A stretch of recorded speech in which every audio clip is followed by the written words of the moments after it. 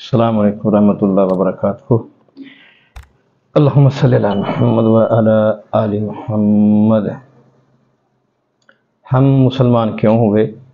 आज की शख्सियत का तारफ़ लेकर आपकी खिदमत में हाज़िर हूँ। इससे पहले आपसे गुजारिश है कि मेरा यूट्यूब चैनल जो मेरे नाम से है, जुल्फ़कार अली, इसको सब्सक्राइब कर दें और बेल आइकॉन भी प्रेस कर दें, ताकि अच्छी अच्छी वीडियो आप तक पहुँचती रहें।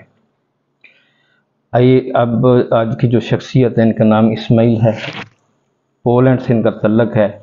ये अपनी दास्तान सुनाते हैं इनकी ज़बानी। मैं 8 जनवरी 1900 को पोलैंड के शहर कराकोफ में पैदा हुआ। मेरा तलक पोलैंड के ऊँचे दर्जे के घराने से है अगरचे मेरे वालद पक्के और सच्चे दहरिए थे, मगर बड़े रवादार थे।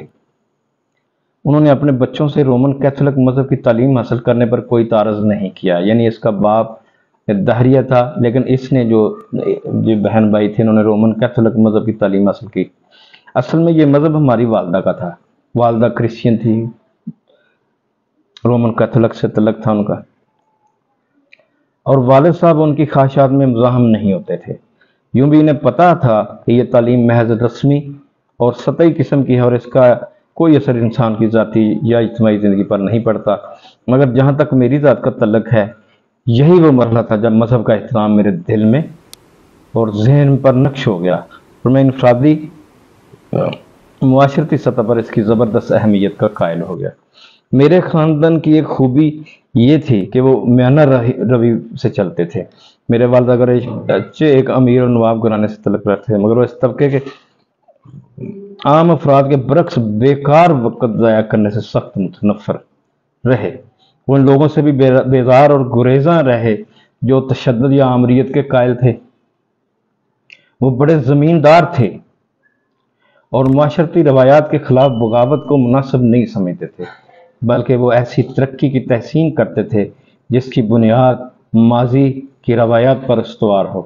गर्ज वो म्याना रवि की बेहतरीन मिसाल पेश करते थे चुनाचे आप, ये को ये सुनकर हरगिज़ अजब नहीं होगा जब मेरी सोचों में बलूगत आई और जब खसूस मैंने आम माशरती मसाइल में दिलचस्पी लेना शुरू की तो जब भी कोई समाजी, सियासी इकसादी या उलझन पैदा हुई, मैंने हमेशा दरमियानी रास्ता इख्तियार किया।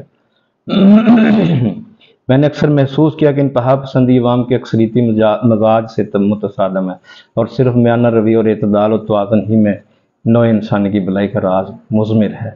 मेरा हमेशा से यकीन रहा है कि इंसानी माशरे का नज़म ऐसी आज़ादी पर मबनी होना चाहिए जो असूल व जवाबत की पाबंद हो। दूसरे लफ्ज़ों में, इंसानी आज़ादी और रवायात का एहतराम तो हो, मगर साथ ही फ़ज़ा और माहौल के पेश नज़र लचक का अंदाज ज़रूर इख्तियार किया जाए। मुद्दा अर्ज़ करने का ये है, मेरी परवरिश म्याना रवि के माहौल में हुई, इसलिए मैं भी मुस्तकिल तौर पर म्याना रवि का पर कारबंद हो गया। चुनाचे मुझे बजा तौर पर तरक्की पसंद रवायात प्रस्त करार दिया जा सकता। मेरी उम्र अभी 16 साल ही की थी कि रोमन कैथोलिक चर्च के मुख्त तमाद ने मुझे मज़हब से नफरत की हद तक बेजार कर दिया। मज़े की बात यह है कि इन तहमत का प्रचार हतमी और बुनियादी कायद की हैसियत से किया जाता है।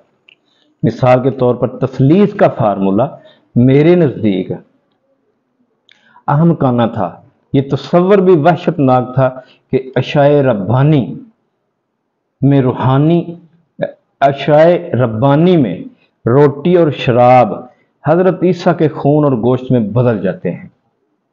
इसी तरह पादरियों का खुदा और मखलूक के दरमियान वास्ता बनना, पोप का मासूम अनिल ख़ता होना और पुर इसरार तलस्मी नोयत के लफ्ज़ों और अशारों की तासीर का तस्वर और इसी तरह के दूसरे तोहमात मेरे दिल में बेजारी का शदीद एहसास बेदार रख थे फिर मैं अपने जहन को कभी भी मरियम, मुख्तलिफ़ बुज़ुर्गों, तबरक़ात, तस्वीरों, बुतों वगैरह की प्रस्तश पर आमादन ना कर सका। इन सब खराफात का नतीजा ये निकला कि मैं मज़हब पर सारा अतमाद खो बैठा और एतकादी मामला से बिल्कुल बेतलक हो गया। दूसरी जंग अजीम शुरू हुई तो मेरे अंदर एक नई मजहबी अमंग करवटें लेने लगी। खुदा ने मेरी आँखें खोल दी। मैं इस नतीजे पर पहुँचा कि इंसानियत को किसी अला अरफा नस्बुल ऐन की ज़रूरत है। और अगर वो मिसाली नस्बुलैन ना मिला तो अब बनी आदम मुकम्मल तबाही के अमीक घरों में डूब जाएगी। ये हकीकत भी मेरे आईने दिल पर रोशन हो गई सिर्फ़ मज़हब ही मतलूबा हयात बख्श नस्ल ऐन फ्राहम कर सकता है।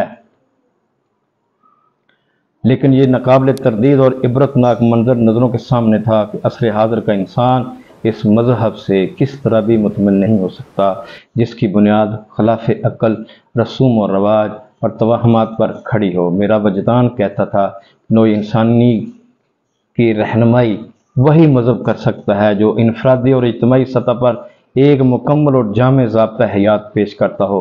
रूहानी प्यास बहुत बढ़ गई तो मैंने तलाश हक की खातर मुख्तलि मजाहब का मताल शुरू किया। इब्तदा में मेरे करीब क्वारकरिज़म यानी तोहद प्रस्ती, बौद्धिज़्म और बहाईज़म थे, मगर सच्ची बात है, इनमें से किसी मज़हब और नज़रिए ने मुझे मुतमिन ना किया। बिल आखिर उन्नीस सौ उनचास में मैंने इस्लाम को दरियाफ्त कर लिया। एक अंग्रेज़ नौ मुस्लिम इस्माइल कोलन इवेंट्स का इस्लाम पर लिखा हुआ एक पंफलेट मेरे हाथ लग गया। इसके बाद दारुल तबलीग इस्लाम, काहरा की मतबू कुछ किताबें और किताब से मुझ तक पहुँचे। मैं दिल जमी से इस्लाम को समझने की कोशिश करने लगा। इस्लामी तालीमत ने मेरे दिल की आँखें रोशन कर दी।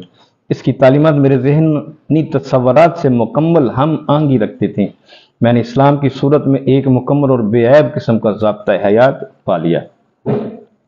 जो ज़मीन पर अल्लाह की शहनशाहियत कायम करने में ज़ाती और जमई सतह पर इंसान की पूरी रहनमी करता है और जिसमें इतनी लचक भी है कि हर लहजा तगैर पजीर ज़माने के तकाज़ों का साथ दे सके मैं सकाफत और समाजी ूम से खसूस दिलचस्पी रखता था। चनाचे मुझे इस्लाम की मुस्लिम माशरती बहुत मुतासर किया खसूस निज़ाम ज़क़़त निज़ाम वरासत, हरमत सूद, जारियत पर मबनी जंगों की ममानत, हज का आलमगीर इज्तम और तद अजवाज की इजाज़त ने मुझे महसूस मशहूर कर दिया। ये सारी खसूसियात सरमायादाराना तहजीब व निज़ाम और कम्युनिज़म के दरमियान इंसाफ, अदल और मियाना रवि की बेहतरीन मिसालें थी। फिर इस्लाम मुख्तलिफ़ रियासतों के दरमियान पैदा होने वाले झगड़ों का जो अकली हल पेश करता है, इसका कहीं कोई जवाब नहीं। सारे अल इस्लाम को नस्ल, ज़बान, सकाफत, रंग और इलाके की हदबंदियों से निकाल कर एक रिश्ता अखूवत में प्रो दिया गया है, जहाँ तक शादी और इस्तवाजी ज़िंदगी का तलक है। इस्लाम में इसकी बुनियादें बड़ी गहरी हैं और समाजी और हयातियाती हक़ ने इनके मबनी पर हक होने पर मोहर तस्दीक सबत कर दिया है। मगरब की सतह गैर संजीदा और नाम नहाद यकजोजियत के मुकाबले में इस्लाम के ये ख़ानदानी असूल जवाबत कहीं ज़्यादा बेहतर अमली खूबियों के हामिल है। बहरहाल, मैं खुदाए इज़्ज़ो जल का शुक्र अदा करता हूँ कि उसने मुझे कुफर जलालत के अंधेरों से निजात दी और इस्लाम की रोशन सरात मुस्तकीम पर ला खड़ा किया, अल्हम्दुलिल्लाह रब्बिल आलमीन। ये थी आज की शख्सियत इस्माइल, इनका तल्लक पोलैंड से है। इन तबारक ताली नेक्स्ट फिर किसी दूसरी शख्सियत का तारफ़ लेकर आपकी खिदमत में हाज़िर हूँगा इजाज़त दीजिए, अल्लाह हाफिज़।